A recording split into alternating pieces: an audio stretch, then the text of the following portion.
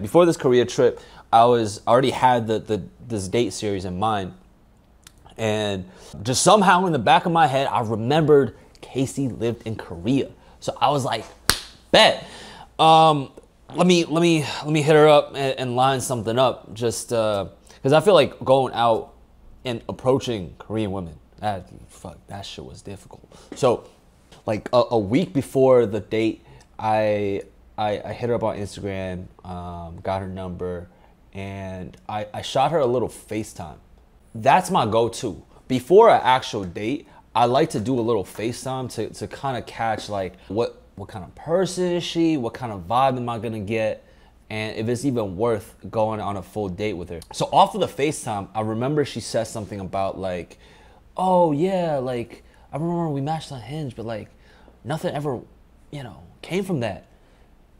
Or something along the lines of that. So I was like, oh wait, so you wanted something to come out of that. Like, like hold on. Like that was a, a little point that like, oh, she might be interested. All right. So I'm already that's that's a, that's a little mental note that I have myself. I'm like, yo, it's like game time to, to flirt. and then there was another thing that she mentioned.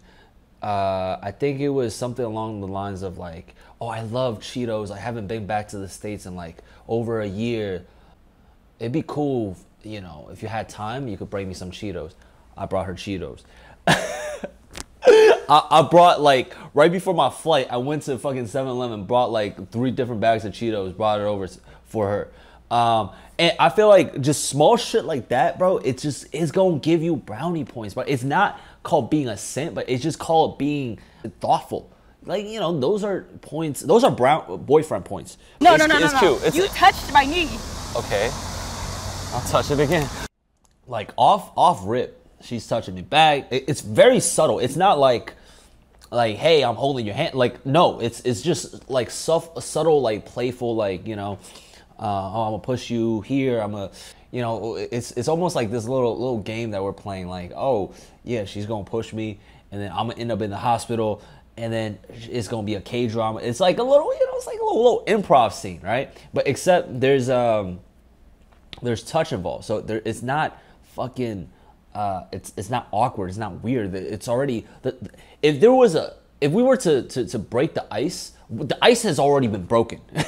that right here, a minute in, I already know this is gonna be because that is something that I think a lot of guys should uh, in, internalize, learn from, is the eye contact and just holding your your your your body, your head there, right? You don't have to lean in, but it's just like it's just she feels that like yo, you you you hear right. But you really don't need to tell a girl, hey, I like you. Show it. That right there, it like show it with your actions. It's way more attractive. It's way more now mind you, she she rejected me, right? Um, obviously she didn't lean in or she didn't, right? But it wasn't one of those like, whoa, oh, what are you doing? Like it wasn't one of those. It, it, or nor was it like just the awkward.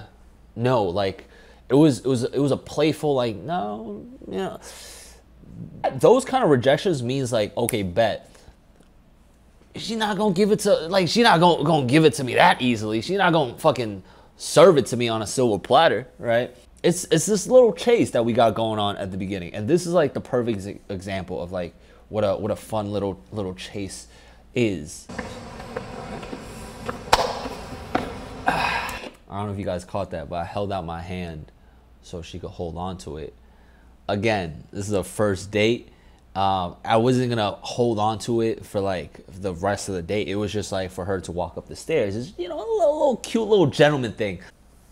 That's a that's a fun little little move I like to do, because that that's the most important thing. Is like throughout the day you want to find ways to kind of break that touch barrier and like you know that was uh, yeah that's that's like one of my go-to moves. just, just you know what I'm saying, milady. Let me just escort you. Yeah, whatever. It, it's it's sometimes it works, sometimes it doesn't. The fact that she didn't hold on to it, like I'm not nervous about it. I'm like, oh fuck, like oh, does that mean she doesn't like? No, it's just like all right, cool. It, it, it doesn't affect me. I don't I don't let these like small rejections like affect me. as long as you you're, still getting good vibes from her, don't let small rejections affect you and how, you know, um, and, and, your confidence level and, and what you do, continue to do on the rest of the date, right? You you don't let a, a little rejection set you back. You just like, cool, time to move on. Let's let's make sure this is this is still fun, right? Don't again. The worst thing you could do is just like beat yourself up for it and in, in that specific moment. No, that was take, a year. Take, like, taking somebody on a yacht. Something very subtle that I don't think a lot of people will even pay attention to like noticing. It's just like how close we are in this frame. Yeah. Like it, this is like a pretty tight shot. It's like it's like this.